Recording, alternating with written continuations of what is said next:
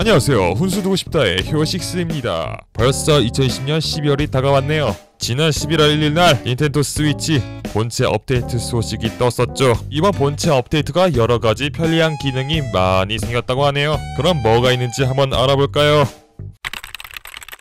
훈수 두고 싶다. 자, 일단 본체 업데이트 먼저 해볼까요?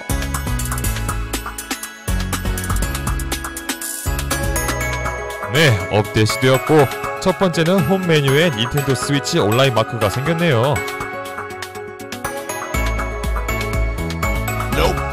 어, 아직 한국은 사용할 수 없나 봅니다.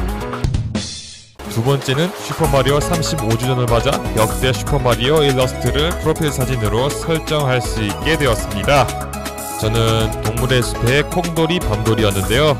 제가 제일 재밌게 한 마리오 시리즈가 슈퍼마리오 위, 그러니까 슈퍼마리오 갤럭시를 재밌게 해서 이걸로 바꾸고 배경도 갤럭시답게 이렇게 짙은 분천색으로 바꾸면 짜잔! 예, 세 번째는 트렌드라는 기능이 추가되었는데요. 스위치 친구 먹은 유저끼리 어떤 게임을 많이 하고 어떤 게임이 유행인지 알 수 있는 기능인 것 같습니다. 음... 무슨 게임이지?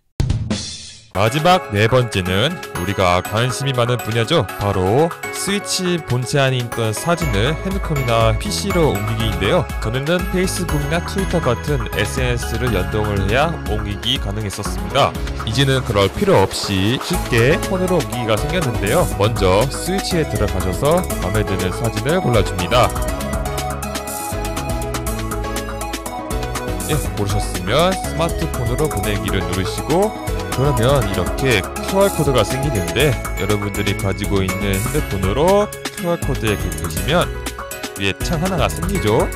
창을 클릭하시면 이렇게 와이파이를 연결하시고 다시 또 갖다 대시면 이번에는 사이트가 뜹니다. 사이트를 연결하시면 이렇게 사진이 핸드폰으로 옮기게 되었습니다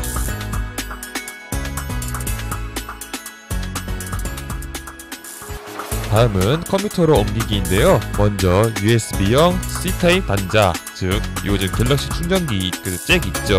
이 갤럭시 잭을 준비합니다. 컴퓨터에 연결하시고 이 다른 잭은 스위치에 연결해 줍니다. 스위치 설정에 들어가셔서 데이터 관리를 클릭하시고 여기에 화면 사진과 동영상 관리를 클릭해 줍니다. 클릭하시면 USB를 연결하여 컴퓨터의 복사 창을 클릭합니다. 클릭하시면 컴퓨터 화면에 닌텐도 스위치가 연결됐다고 창 하나가 뜨게 됩니다. 자, 컴퓨터 화면으로 짜잔! 컴퓨터 창에 내 PC에 들어가시면 이렇게 닌텐도 스위치 파일이 생깁니다. 클릭하시면 그동안 게임하면서 캡처했던 사진들을 각 게임별로 나누어져 있는 걸 보실 수가 있습니다. 자 이렇게 해서 닌텐도 스위치 업데이트 소식과 스위치 안에 있는 사진들을 핸드폰 또는 PC로 옮기는 방법을 알아봤습니다. 벌써 12월이 다가왔습니다. 날씨도 엄청 추워지고요. 그리고 그 바이러스도 다시 악화되고 있고요. 항상 외출하실 때는 무조건 마스크 착용하시고요. 웬만하면 집에 계시는 게 더 좋고요. 영상 재밌게 보셨나요? 재밌게 보셨다면 구독과 좋아요 눌러주시고 이 영상에 훈수를 두고 싶다. 아래 댓글로 표현해주세요. 그럼 저는 다음 영상에서 뵙도록 하겠습니다. 그럼 안녕히 계십시오.